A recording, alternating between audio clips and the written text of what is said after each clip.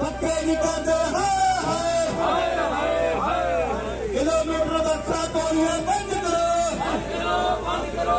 ਪੰਜਾਬ ਸਰਕਾਰ। ਮੁਰਦਾਬਾਦ ਪੰਜਾਬ ਸਰਕਾਰ। ਪੀਆਰਟੀਸੀ ਪਨਬਸ ਦੇ ਕੱਚੇ ਕਾਮਿਆਂ ਵੱਲੋਂ ਆਪਣੀ ਮੰਗਾਂ ਨੂੰ ਲੈ ਕੇ ਮੋੜ ਚੰਡੀਗੜ੍ਹ ਵਿਖੇ ਚੱਕਾ ਜਾਮ ਕੀਤਾ ਗਿਆ ਜਿਸ ਨੂੰ ਲੈ ਕੇ ਆਮ ਲੋਕਾਂ ਨੂੰ ਭਾਰੀ ਬੱਸ ਅੱਡੇ ਤੇ ਪਰੇਸ਼ਾਨੀਆਂ ਦਾ ਸਾਹਮਣਾ ਕਰਨਾ ਪੈ ਰਿਹਾ ਹੈ। ਇਸੇ ਤਹਿਤ ਰਾਹਤ ਵਾਲੀ ਗੱਲ ਇਹ ਹੈ ਕਿ ਰੈਗੂਲਰ ਕਾਮਿਆਂ ਵੱਲੋਂ ਸਰਕਾਰੀ ਬੱਸਾਂ ਚਲਾਈਆਂ ਜਾ ਰਹੀਆਂ ਹਨ। ਜਾਣਕਾਰੀ ਮੁਤਾਬਿਕ ਕੱਲ ਦੇਰ ਸ਼ਾਮ ਤੋਂ ਹੀ ਹੜਤਾਲੀਆਂ ਵੱਲੋਂ ਆਪਣੀਆਂ ਸਰਕਾਰੀ ਬੱਸਾਂ ਨੂੰ ਡਿਪੂ ਵਿੱਚ ਜਮ੍ਹਾਂ ਕਰਵਾ ਦਿੱਤਾ ਗਿਆ ਸੀ, ਜਿਸ ਕਾਰਨ ਆਮ ਲੋਕਾਂ ਨੂੰ ਦੇਰ ਸ਼ਾਮ ਤੋਂ ਹੀ ਦਿੱਕਤਾਂ ਦਾ ਸਾਹਮਣਾ ਝੇਲਣਾ ਪੈ ਰਿਹਾ ਹੈ। ਦੱਸਣਯੋਗ ਹੈ ਕਿ ਪਿਛਲੇ ਕਾਫੀ ਸਮੇਂ ਤੋਂ ਪੀਆਰਟੀਸੀ ਦੇ ਕੱਚੇ ਕਾਮਿਆਂ ਵੱਲੋਂ ਆਪਣੀ ਮੰਗਾਂ ਨੂੰ ਲੈ ਕੇ ਸਰਕਾਰ ਖਿਲਾਫ ਪ੍ਰਦਰਸ਼ਨ ਕੀਤਾ ਜਾ ਰਿਹਾ ਹੈ, ਪਰ ਸਰਕਾਰ ਵੱਲੋਂ ਇਸ ਮਸਲੇ ਤੇ ਕੋਈ ਸੰਜੀਦਗੀ ਨਹੀਂ ਦਿਖਾਈ ਜਾ ਰਹੀ ਹੈ। ਇਸੇ ਗੱਲੋਂ ਨਾਰਾਜ਼ ਕੱਚੇ ਕਾਮਿਆਂ ਵੱਲੋਂ ਅਗਲੇਰੀ 6 ਜੁਲਾਈ ਨੂੰ ਅਹਿਮ ਮੀਟਿੰਗ ਸੱਦੀ ਗਈ ਹੈ, ਜਿਸ ਵਿੱਚ ਪ੍ਰਦਰਸ਼ਨਕਾਰੀਆਂ ਵੱਲੋਂ ਆਰ-ਪਾਰ ਦੀ ਲੜਾਈ ਦਾ ਐਲਾਨ ਕੀਤਾ ਜਾਵੇਗਾ। ਪ੍ਰਦਰਸ਼ਨਕਾਰੀਆਂ ਨੇ ਚੇਤਾਵਨੀ ਦਿੰਦਿਆਂ ਕਿਹਾ ਕਿ 11 ਜੁਲਾਈ ਨੂੰ ਪੰਜਾਬ ਦੇ ਸਾਰੇ ਡਿਪੂ 2 ਘੰਟਿਆਂ ਲਈ ਬੰਦ ਰਹਿਣਗੇ ਅਤੇ ਰੋਸ ਮੁਜ਼ਾਹਰੇ ਕੀਤੇ ਜਾਣਗੇ। ਇਸ ਮੌਕੇ ਪ੍ਰਦਰਸ਼ਨਕਾਰੀਆਂ ਨਾਲ ਸਾਡੇ ਸੰਵਾਦਦਾਤਾ ਨੇ ਗੱਲਬਾਤ ਕੀਤੀ, ਉਹਨਾਂ ਨੇ ਹੋਰ ਕੀ ਕੁਝ ਕਿਹਾ, ਤੁਸੀਂ ਵੀ ਜ਼ਰੂਰ ਸੁਣੋ। ਤੁਸੀਂ ਦੇਖ ਰਹੇ ਹੋ ਸੱਚ ਕਹੂੰ ਮੈਂ ਹਾਂ ਪ੍ਰਿੰਸ ਗਰਗ। ਅੱਜ ਅਸੀਂ ਪਹੁੰਚਿਆ ਚੰਡੀਗੜ੍ਹ ਦੇ ਪੰਜਾਬ ਦੇ ਪੀਆਰਟੀਸੀ ਡਿਪੂ ਦੇ ਵਿੱਚ, ਜਿੱਥੇ ਲਗਾਤਾਰ ਹਰ ਵਾਰ ਅਸੀਂ ਜਦੋਂ ਦੇਖਦੇ ਹਾਂ ਪੀਆਰਟੀਸੀ ਦੇ ਜਿਹੜੇ ਕੱਚੇ ਕਾਮਿਆਂ ਵੱਲੋਂ ਧਰਨਾ ਰੋਸ ਪ੍ਰਦਰਸ਼ਨ ਕੀਤਾ ਜਾਂਦਾ ਹੈ ਤੇ ਅੱਜ ਵੀ ਅਸੀਂ ਇੱਥੇ ਪਹੁੰਚੇ ਹੋਏ ਹਾਂ, ਇੱਥੇ ਧਰਨਾ ਲੱਗਿਆ ਹੋਇਆ ਤਾਂ ਗੱਲਬਾਤ ਕਰਦੇ ਹਾਂ ਗੁਰਪ੍ਰੀਤ ਸਿੰਘ ਜੀ ਨਾਲ ਆਖਰ ਦੇ ਵਿੱਚ। ਗੱਲ ਕੀ ਹੈ, ਕੀ ਗੱਲਬਾਤ ਹੈ ਕਿ ਅਕਸਰ ਹਰ ਰੋਜ਼ ਇਹਨਾਂ ਨੂੰ ਧਰਨਾ ਦੇਣਾ ਪੈਂਦਾ, ਲੇਕਿਨ ਇਹਨਾਂ ਦੀਆਂ ਮੰਗਾਂ ਪੂਰੀਆਂ ਨਹੀਂ ਕੀਤੀਆਂ ਜਾ ਰਹੀਆਂ। ਕੀ ਗੱਲਬਾਤ ਹੈ ਸਰ, ਦੱਸੋ, ਅਕਸਰ ਥੋੜਾ ਧਰਨਾ ਦੇਖਦੇ ਹਾਂ, ਲੇਕਿਨ ਮੰਗਾਂ ਨਹੀਂ ਥੋੜੀਆਂ ਪੂਰੀਆਂ ਹੋ ਰਹੀਆਂ। ਸਰ, ਮੰਗਾਂ ਸਰਕਾਰ ਤਾਂ, ਜਿਹੜੀ ਪੰਜਾਬ ਸਰਕਾਰ ਨੇ ਸੱਤਾ ਜਾਣ ਤੋਂ ਪਹਿਲਾਂ ਇਹ ਗੱਲ ਕਹੀ ਸੀ ਕਿ ਅਸੀਂ ਘਰ ਘਰ ਰੁਜ਼ਗਾਰ ਦਵਾਂਗੇ, ਕਿ ਬਾਹਰੋਂ ਆ ਕੇ ਬੱਚਿਆਂ ਨੂੰ ਇੱਥੇ ਨੌਕਰੀ ਕਰਨਗੇ। ਤੇ ਕਿਸੇ ਨੂੰ ਵੀ ਧਰਨਾ ਮਜਾਰਾ ਕਿਸੇ ਦੀ ਭਗਵੰਤ ਮਾਨ ਸਾਹਿਬ ਨੇ ਕਿਹਾ ਸੀ ਜੇ ਐਮਪੀ ਸੀ ਵੀ ਅੱਜ ਤੋਂ ਬਾਅਦ ਕਿਸੇ ਦੀ ਪੱਗ ਨਹੀਂ ਉਤਰੂਗੀ ਕਿਸੇ ਧੀ ਭੈਣ ਦੀ ਚੁੰਨੀ ਨਹੀਂ ਸਿਰ ਤੋਂ ਉਤਰੂਗੀ। ਪਰ ਇਹ ਉਲਟ ਆਉਂ ਦੂਜੀ ਸਰਕਾਰਾਂ ਵਾਂਗੂ ਉਲਟ ਇਹਨਾਂ ਦਾ ਰਵੱਈਆ ਜ਼ਿਆਦਾ ਉਹ ਹੈ ਜਿਹਦੀ ਅਸੀਂ ਨਿੰਦਾ ਕਰਦੇ ਹਾਂ।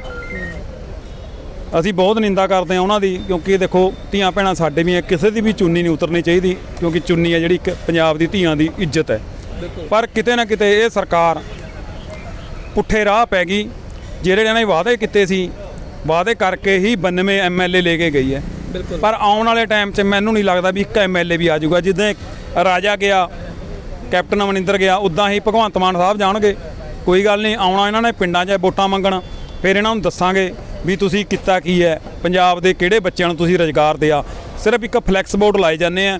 ਫਲੈਕਸ ਬੋਰਡ ਦੇ ਉੱਪਰ ਕਰੋੜਾਂ ਰੁਪਏ ਦਾ ਖਰਚਾ ਕਰਕੇ ਦੱਸਿਆ ਜਾਂਦਾ ਕਿ ਇਹ ਬੱਚਿਆਂ ਨੂੰ ਅਸੀਂ ਨੌਕਰੀਆਂ ਦੇਤੀਆਂ, ਟੀਚਰਾਂ ਨੂੰ ਨੌਕਰੀਆਂ ਦੇਤੀਆਂ, ਸਿਰਫ ਉਹ ਫਲੈਕਸ ਬੋਰਡ ਤੇ ਹੀ ਨੌਕਰੀਆਂ।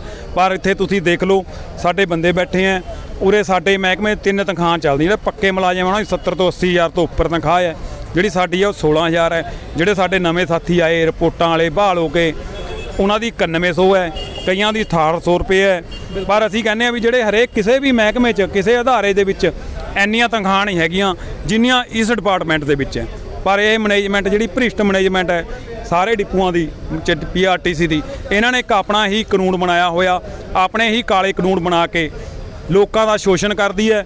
ਇਹਨਾਂ ਤੇ ਵੀ ਸਖਤ ਸਰਕਾਰ ਨੂੰ ਐਕਸ਼ਨ ਲੈਣਾ ਚਾਹੀਦਾ ਹੈ ਤਾਂ ਜੋ ਜਿਹੜਾ ਬਰਾਬਰ ਕੰਮ ਬਰਾਬਰ ਤਨਖਾਹ ਲਾਗੂ ਹੋ ਸਕੇ ਤੇ ਸਾਡੀਆਂ ਸਰਕਾਰ ਮੰਗਾਂ ਮੰਨੇ ਤਾਂ ਜੋ ਸਾਡੇ ਜਿਹੜੇ ਕੱਚੇ ਮੁਲਾਜ਼ਮ ਹੈ ਉਹ ਪੱਕੇ ਹੋਣ।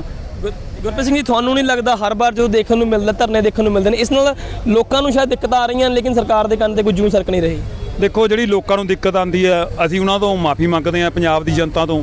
ਪਰ ਜਿਹੜੀ ਇਹ ਸਰਕਾਰਾਂ, ਦਿੱਕਤਾਂ ਇਹ ਦਵਾਰੀਆਂ ਜੇ ਇਹ ਕੱਚੇ ਮੁਲਾਜ਼ਮਾਂ ਨੂੰ ਸਾਰਿਆਂ ਨੂੰ ਪੱਕਾ ਕਰੇ, ਕੋਈ ਵੀ ਪੰਜਾਬ ਦੀ ਜਨਤਾ ਨੂੰ ਦਿੱਕਤ ਨਹੀਂ ਆਊਗੀ। ਸਾਨੂੰ, ਅਸੀਂ ਕਹਿੰਦੇ ਹਾਂ, ਸਾਨੂੰ ਕੋਈ ਵੀ ਫ੍ਰੀ ਚੀਜ਼ ਨਹੀਂ ਚਾਹੀਦੀ। ਨਾ ਸਾਨੂੰ ਸਫ਼ਰ ਸਹੂਲਤ ਫ੍ਰੀ ਚਾਹੀਦਾ, ਨਾ ਆਟਾ, ਨਾ ਦਾਲ, ਨਾ ਬਿਜਲੀ। ਅਸੀਂ ਕਿਰਾਇਆ ਦੇ, ਬਿੱਲ ਤੇ ਦੇਣ ਨੂੰ ਤਿਆਰ ਹਾਂ, ਕਿਰਾਇਆ ਦੇਣ ਨੂੰ ਤਿਆਰ ਹਾਂ। ਪਰ ਜਿਹੜਾ ਸਾਡੇ ਬੱਚਿਆਂ ਨੂੰ ਆਉਣ ਵਾਲੀ ਜਿਹੜੀ ਪਨੀਰੀ ਹੈ, ਉਹਨਾਂ ਨੂੰ ਰੁਜ਼ਗਾਰ ਮਿਲੇ ਸਾਡੇ ਭਵਿੱਖ ਜਿਹੜਾ ਪੰਜਾਬ ਦਾ ਉਜਵਲ ਹੋਵੇ, ਪਰ ਕਿਤੇ ਨਾ ਕਿਤੇ ਸਰਕਾਰਾਂ ਫ੍ਰੀ ਦੇ ਸ- ਲਾਰੇ ਲਾਈ ਜਾਂਦੀਆਂ। ਦੇਖੋ ਦੋਸਤੋ, ਜੇ ਫ੍ਰੀ ਸਰਕਾਰ ਨੇ ਕਰਨਾ, ਤਾਂ ਇੱਕ ਮੈਡੀਕਲ ਸਹੂਲਤ ਕਰੇ, ਇੱਕ ਸਿੱਖਿਆ ਫ੍ਰੀ ਕਰੇ, ਤਾਂ ਜੋ ਪੰਜਾਬ ਦੇ ਬੱਚਿਆਂ ਨੂੰ ਸਿੱਖਿਆ ਜਿਹੜੀ ਫ੍ਰੀ ਮਿਲ ਸਕੇ ਤੇ ਜਿਹੜਾ ਕੋਈ ਬਿਮਾਰ ਸ਼ਮਾਰ ਹੈ, ਕੋਈ ਜ਼ਿਆਦਾ ਉਹਨਾਂ ਨੂੰ, ਉਹਨਾਂ ਦਾ ਇਲਾਜ ਫ੍ਰੀ ਹੋਏ ਕਿਰਾਇਆ ਕਰੂਆ ਦਾ 5-400 ਲੱਗਦਾ, ਜਿਹੜਾ ਕੋਈ ਆਮ ਨਿਕਲਦਾ ਜਾਂ ਜਿਹੜੀ ਕਣਕ ਦਾਲ ਹੈ, ਉਹ ਸਾਲ 6 ਮਹੀਨੇ ਬਾਅਦ ਲੈਣੀ ਹੈ।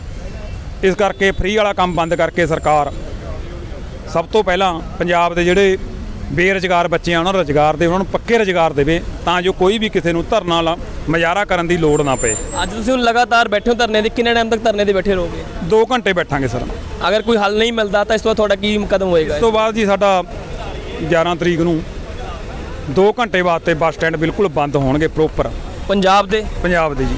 27 ਦੇ 27 ਡਿਪੂ 2 ਘੰਟੇ ਵਾਸਤੇ ਅਸੀਂ ਬੰਦ ਕਰਾਂਗੇ। ਜਿੰਨੇ ਵੀ ਪੰਜਾਬ 'ਚ ਸਾਡੇ ਬੱਸ ਸਟੈਂਡ ਹੈ ਇੱਕ ਚੰਡੀਗੜ੍ਹ ਛੱਡ ਕੇ ਜੀ ਤਾਂ ਬਿਲਕੁਲ ਸਾਡੇ ਨਾਲ ਇਸ ਵਕਤ ਮੌਜੂਦ ਸੀ ਗੁਰਪ੍ਰੀਤ ਸਿੰਘ ਜੀ ਜਿਨ੍ਹਾਂ ਨੇ ਗੱਲਬਾਤ ਕੀਤੀ ਪੂਰੀ ਚੰਗੀ ਤਰ੍ਹਾਂ ਕਿ ਅਗਰ ਸਾਡੀਆਂ ਮੰਗਾਂ ਨਹੀਂ ਮੰਨੀਆਂ ਜਾਂਦੀਆਂ ਮੰਗਾਂ ਨੇ ਜੋ ਤੁਸੀਂ ਸੁਣੀ ਲਈਆਂ ਕੱਚੇ ਕੰਮਾਂ ਨੂੰ ਪੱਕਾ ਕਰਨ ਲਈ ਤੇ ਜੋ ਕਿਲੋਮੀਟਰ ਬੱਸਾਂ ਨੂੰ ਲੈ ਕੇ ਤਾਂ ਮੈਂ ਪ੍ਰਿੰਸ ਗੜ੍ਹ ਚੰਡੀਗੜ੍ਹ ਤੋਂ ਤੁਸੀਂ ਦੇਖ ਰਹੇ ਹੋ ਸੱਚ ਕਹੂੰ ਧੰਨਵਾਦ ਦੇਸ਼ ਦੁਨੀਆ ਦੀ तमाम ਖਬਰਾਂ ਨਾਲ ਜੁੜੇ ਰਹਿਣ ਲਈ ਸਬਸਕ੍ਰਾਈਬ ਕਰੋ YouTube ਤੇ ਸੱਚ ਕਹੂੰ ਪੰਜਾਬੀ ਚੈਨਲ ਇਸ ਦੇ ਨਾਲ ਹੀ ਬੈਲ ਆਈਕਨ ਦਬ ਕੇ ਪਾਓ ਲੇਟੈਸਟ ਅਪਡੇਟ ਸਭ ਤੋਂ ਪਹਿਲਾਂ